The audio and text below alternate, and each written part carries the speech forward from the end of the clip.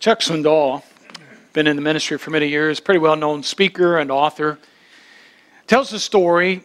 Early in his ministry, he served in a town in Massachusetts called Waltham. He said there was another church there in that town that had an interesting history, had gone through a lot, and they had a young man come and become the minister there. And that church had uh, gone through some controversy, and when he got there, he uh, uh faced some opposition and things. And his first Sunday there, he got up to preach and noticed that everybody was sitting on the last three rows of the church.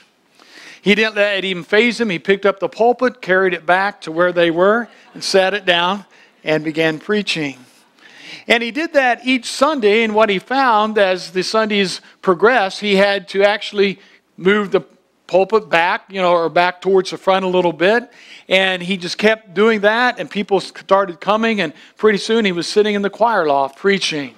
Uh, the place had been filled so much.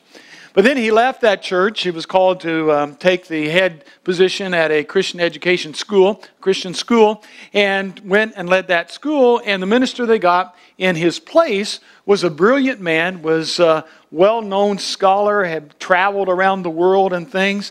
And when he came, he also faced some opposition, but he was so elegant and so good at being argumentative and things like that that he began to deal with all the controversy that he heard, you know, pretty harshly sometimes from the pulpit, and he would, you know, always present it in such a way that no one could argue. But what happened was all of a sudden those rows began to get empty again.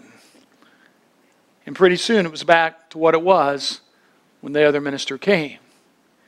He won the arguments, but he lost the battle. It's interesting the dynamics that take place in a group setting, thus, the church. Today, I want us to think about some of those things. I know a lot of you come from different churches. Some of you are here for the, the winter from up north, and you come from churches. Some of you are here year round, and you're part of Anchor. Some of you may be visiting today for the first time. I, I don't know. And we come together, and anytime we gather together, we are His church. It's not the building, it's not all the, the trimmings, it's His people. So, as we continue our journey through Nehemiah chapter 4, we have um, taken a look at Nehemiah kind of from an individual basis. How would you respond to this? But today I want us to respond, and I, I, think this is the, the best way to approach this next chapter, chapter 4, kind of from a corporate mindset. What happens in a group of God's people? What happens when conflict arises or discouragement? Discouragement comes our way. Are there things that we can learn? Are there, there ways that we can prepare ourselves? Are there things that we can do to help God's church be the church that He wants us to be? Well, I think they are. And chapter 4 of Nehemiah, I don't have time, we're not going to read through the whole chapter, so let me summarize it for you very quickly. Nehemiah chapter 4, we find that there is opposition that comes. There is conflict uh, waiting on the horizon. We've mentioned the last two weeks a couple of guys by the name of Sanballat and Tobiah. And I keep saying we're going to get to those guys. Well, today we're going to look at them. This isn't the last time they'll pop up in this book. But they come and they start doing some things to discourage the people, to try to get them to stop building the wall. Nehemiah is aware of this, he hears about it, and he does some things to help counteract what they are trying to do. So that's the story of chapter 4 the opposition and the response Nehemiah comes up with. And from that, I think that we can learn some good things today. If we're going to get beyond conflict and discouragement, we need to look at how Nehemiah led his people through these things that happened in their time and the, the, uh, the task that they had before us. So I'm going to start with chapter 4 of Nehemiah, and I'm not going to read all the passages, all the verses. I kind of summarized it. I would encourage you to go back and read it on your own and kind of fill in some of those blank spots. But here's what happens in the first opening verses of Nehemiah chapter 4. I'm going to read on the screen, it's going to be verses 4 through 6, I'm or 4 and 5. I'm going to read starting with verse 1. Sanballat was very angry when he learned that we were rebuilding the wall. He flew into a rage and mocked the Jews, saying in front of his friends and the Samaritan army officers, What does this bunch of poor, feeble Jews think they're doing? Do they think they can build the wall in a single day by just offering a few sacrifices? Do they actually think they can make something of stones from a rubbish heap and charred ones at that? Tobiah the Ammonite was standing beside him, remarked, That stone wall would collapse if even a fox walked on top of it. Foxes aren't like elephants, they're pretty small animals. Verse 4 Then I prayed, Hear us, our God, for we are being mocked. May their scoffing fall back on their own heads, and may they themselves become captives in a foreign land. Do not ignore their guilt. Do not plot out their sins, for they have provoked you to anger here in front of the builders. The first thing I think we can learn about how to go beyond discouragement and conflict is what Nehemiah did. It begins on your knees. It begins on your knees. In verse 4, how did Nehemiah react? He reacted by praying but I prayed. Now, we have seen in Nehemiah that this is not the uh, unusual thing for Nehemiah to, to, do. Prayer was the first go to thing. In chapter 1, when he heard that the walls had, broke, had been broken down, what did he do? He mourned, he prayed, and he fasted. In chapter 2, as he was in front of the king, and the king asked him what he needed or what was wrong, what was the first thing he did? He prayed, Lord, please give me the words to say. It was not a last option for Nehemiah. It was his first go to thing. And anytime he faced some type of conflict, some type of discouragement in his life, we need to make prayer our first go to rather than our last. I remember one time a man came up to me in the foyer on Sunday morning and said, well, Jeff, why don't you go ahead and put Sue on the prayer list? I've tried everything else. I might as well do that. You know, she'd been ill for a while, and I thought, wow, I'm not quite sure if that's the, uh, the approach. I, have had someone else say, well, well, why don't you go ahead and put me on that prayer list? I hate to do that, but I don't know what else to do. You know, I'm glad they finally thought of prayer but prayer shouldn't be our last option. Prayer shouldn't be, well, I've tried everything else and I haven't been able to take care of it. Now I guess I'll turn to the last resort. No, for Nehemiah, it was the first thing on, the, on his mind. When Sanballat and Tobiah stood up and started mocking the people, the first thing he did is he went to the Lord. He went to his knees in prayer. Now, his prayer is an interesting prayer says, Hear us, O God. We are being mocked. And he doesn't back down from anything, does he? May their scoffing fall back on their own heads. May they themselves become captives in a foreign land. Do not ignore their guilt. Do not blot out their sins. That doesn't sound really like a politically correct prayer. There are other times in the Old Testament, especially in the book of Psalms, where you'll find prayers like that from David when he was facing his enemies. And you might think, well, how in the world can we balance this prayer with the words of Jesus when he said, Love your enemies, pray for those who persecute you? Here's my take on it. What we see here with Nehemiah and what we see in the Psalms with David, they were so passionate for God that they wanted God to stand up and they wanted to be on God's side because they knew that God was in control. Did you catch that last phrase? For they have provoked, it doesn't say the people, does it? Says, For they have provoked you here in front of the people. Lord, stand up for who you are. And he's calling on the Lord. You know, kind of as a side note, we could learn from that today. We need more people to stand up for God. We need to ask Him, Lord, take care of this situation. Because there are those who oppose God, there are those who oppose His church. And too many times we, in a way, back away from that. And Nehemiah just up front said, Lord, you need to take care of this problem. We put our trust in you. You are the one in charge, you are the one in control. They have mocked you. Lord, it is now in your hands. Prayer. Many times a battle should begin on our knees. And that's what Nehemiah was gearing the people up for. But before he said a word to them, he went to his father and said, Now, Lord, we need your help. Next time you're faced with conflict or discouragement, be it in your own personal life, be it in the church, what's the first thing that needs to be done? Pray. Pray. Well, the story goes on. After Nehemiah has prayed, he does something also important. He, he goes on and he identifies the cause of the problem, he, he looks at the situation. I think the first thing he, he identifies is a loss of vision. Verse 6 At last the wall was completed to half its height around the entire city, for the people had worked with enthusiasm. You know, it's important sometimes to stop and just reflect and try to figure out just what's going on here.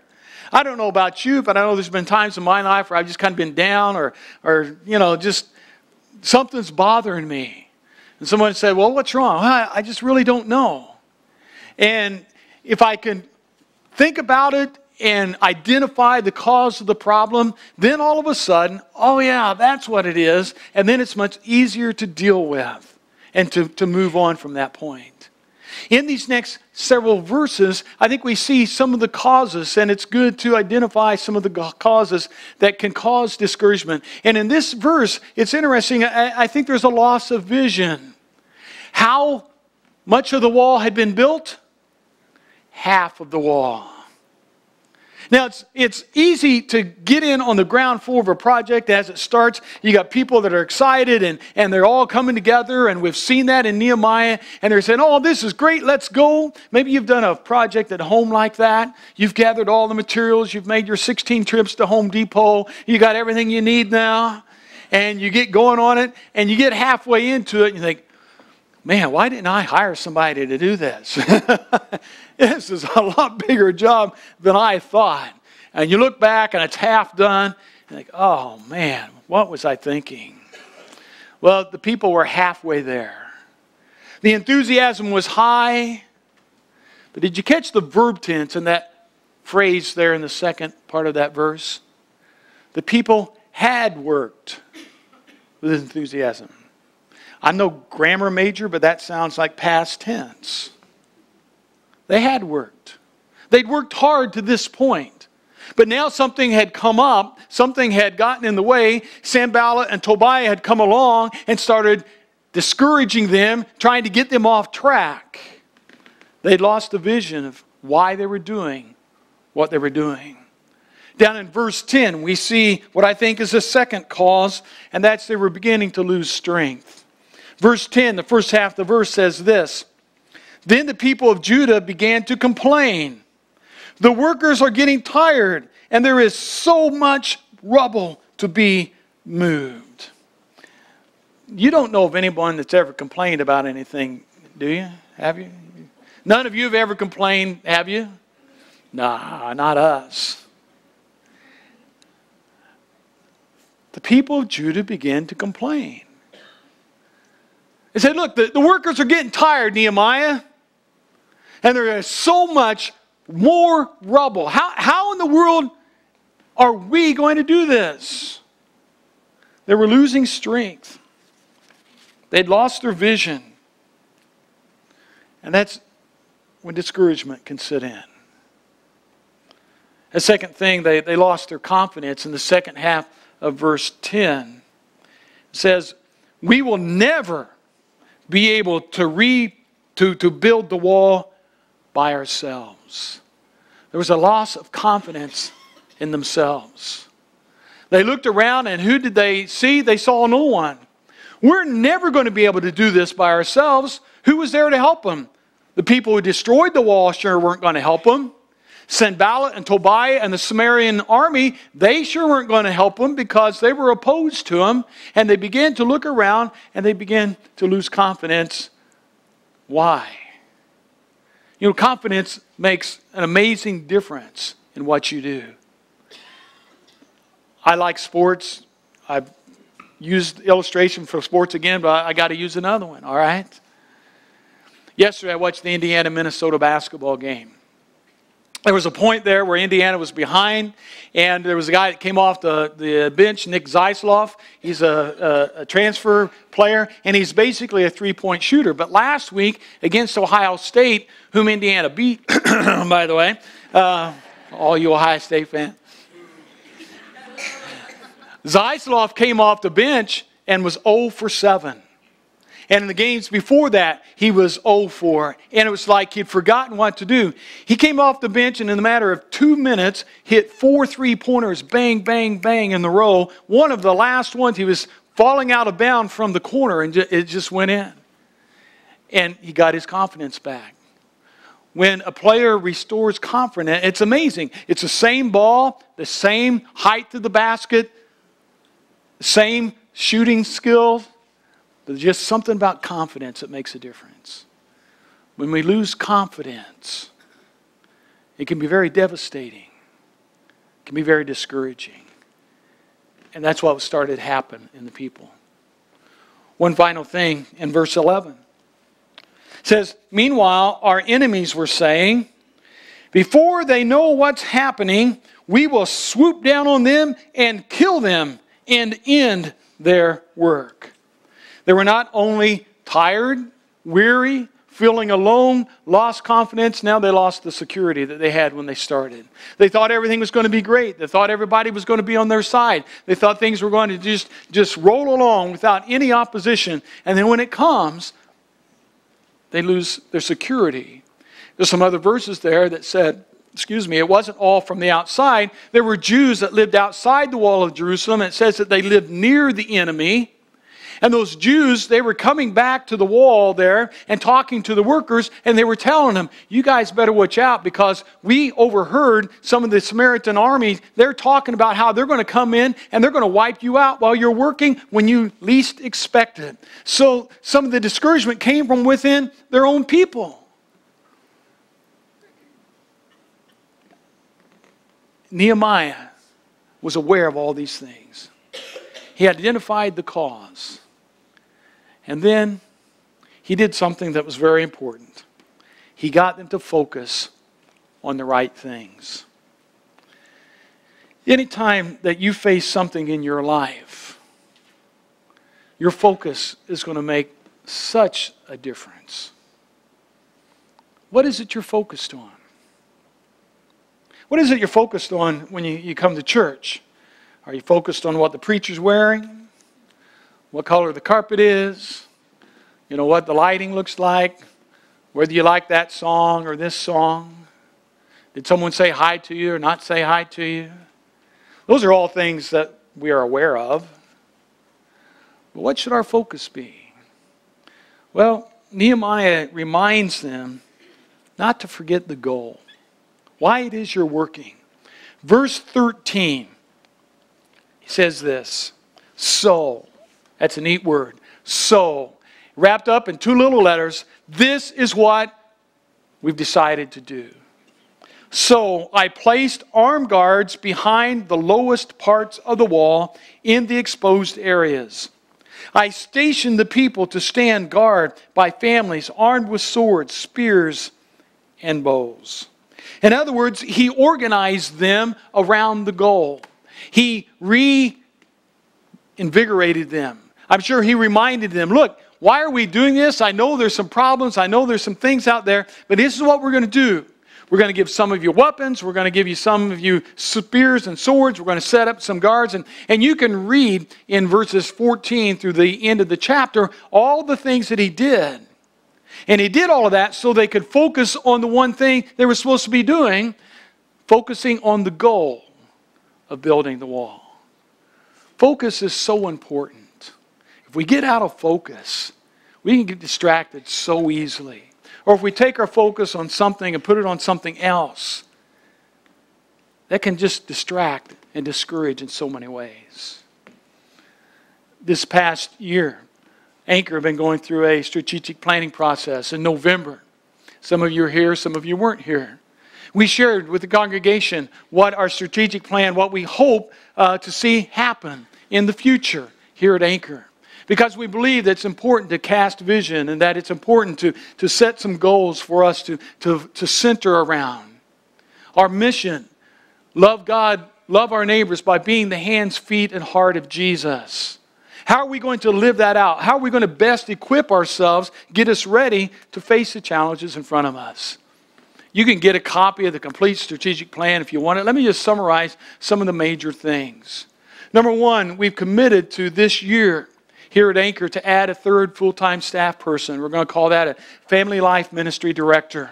Someone that can come in and can work with the children's ministry and can equip teachers and work uh, at equipping the youth ministry and, and do outreach events to the community to where we can minister to families and reach families and, and be that church of multiple generations, ministering to multiple generations. And that's going to be a big step of faith. It's going to take funds, it's going to take vision. It's going to take a lot of things for that to come together, but we really believe that's where God wants us to go to continue to reach out to those that need to be reached. As more and more families are getting further and further away from the Lord, and, and fewer and fewer children are getting to know who Jesus is and, and what He has done for them, we feel it's important, imperative that we do that and move forward. A second aspect of the vision or the strategic plan is we need to get some more space. If we were to add another class for uh, Sunday school on Sunday morning. We can't do it right now. We met with a guy yesterday, uh, last Sunday afternoon, and he said one of the things that you need to do is, is create a young adult Bible school class. So the problem is we don't have a room that we could even do that in.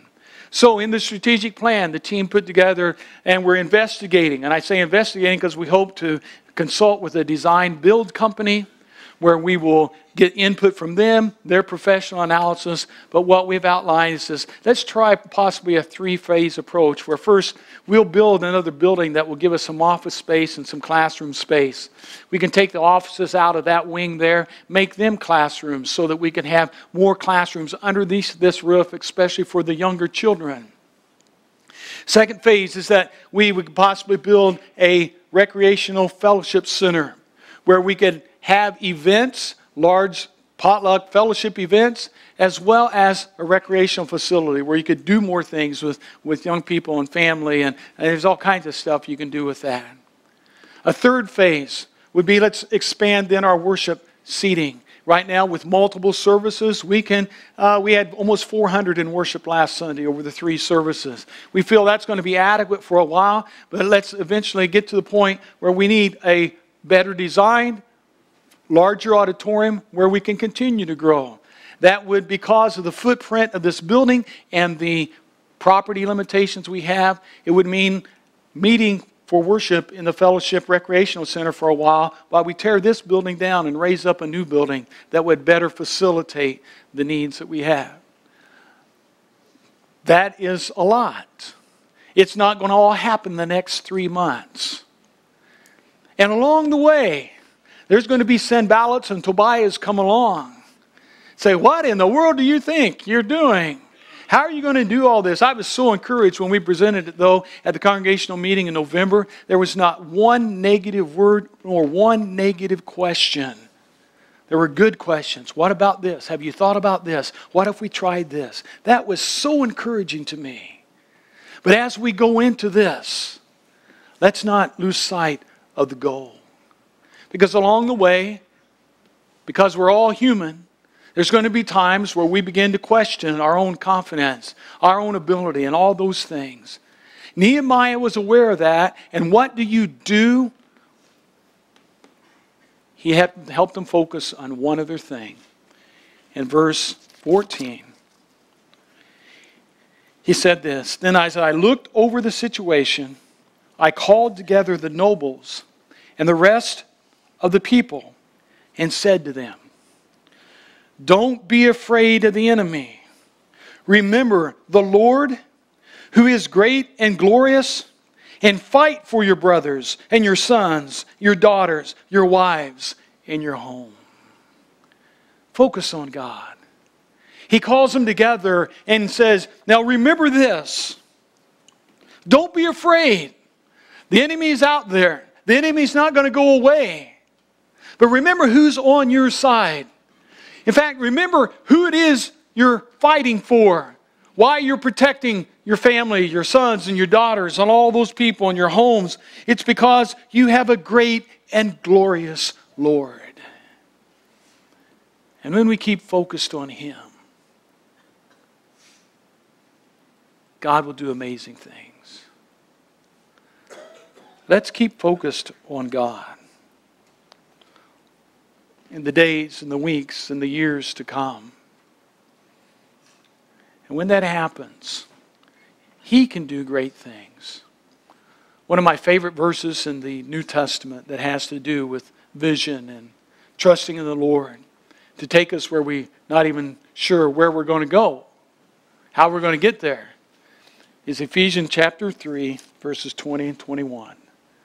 Paul says this Now to him who is able to do immeasurably more than all we ask or imagine, according to his power that is at work within us, to him be glory in the church and in Christ Jesus throughout all generations, forever and ever. Amen. It's a great passage. When the walls are left in rubble, when discouragement comes our way, when we're not sure if we have the strength to go on, when it seems that attacks are coming from out and within, what does call, God call us to do? He says, Look at Him who's able to do more than we even imagined or hoped for, according to His power at work within us. Are you willing to let His power work in you to go forward to be His church? It's a question only you can answer. Answer it well. Let's pray.